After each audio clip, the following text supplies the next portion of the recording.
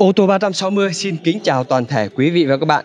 Chúc quý vị và các bạn có một ngày mới thật là vui vẻ và hạnh phúc ạ. Rất vui được gặp lại quý vị và các bạn ở video clip ngày hôm nay ạ.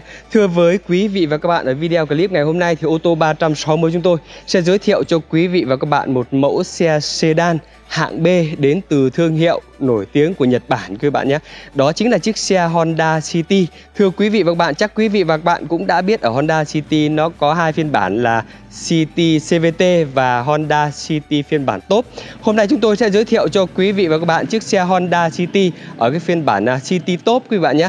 Chiếc xe được sản xuất năm 2019, đăng ký cuối năm 2019 ạ, tức là vẫn còn bảo hành đến à, hết năm 2022 này quý bạn nhé.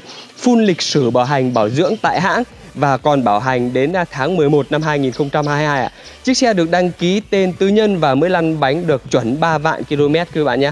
Full lịch sử bảo dưỡng tại hãng và chúng tôi cam kết cái đồng hồ này là 3 vạn chuẩn nhé full lịch sử bảo hành, bảo dưỡng và toàn bộ là còn nguyên bản nguyên bản từ dàn lốp luôn, quý vị bạn nhé và thưa với quý vị và các bạn, chiếc xe này chúng tôi đang bán với giá là 510 triệu đồng. Chúng tôi vẫn hỗ trợ trả góp cho quý vị bạn. Quý vị các bạn chỉ việc trả trước 30% giá trị của xe. Số tiền còn lại là 70% quý vị và bạn trả trong vòng 5 năm. Với lãi suất rất là ưu đãi, thủ tục thì nhanh chóng và đơn giản thôi ạ.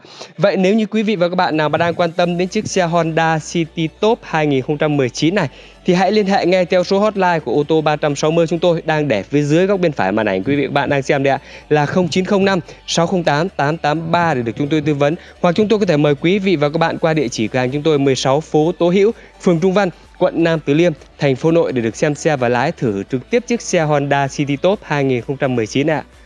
Quý vị và các bạn đang theo dõi video thì xin quý vị và các bạn hãy like video, hãy đăng ký kênh ủng hộ cho kênh ô tô 360 chúng tôi và cũng là để đón nhận những video mới nhất, những chiếc xe mới nhất chúng tôi đăng lên trên kênh ô tô 360 này ạ. Cảm ơn quý vị và các bạn rất là nhiều. Sau đây tôi sẽ mời quý vị và các bạn cùng tôi tìm hiểu về chiếc xe Honda City Top 2019 này ạ. Mời quý vị và các bạn.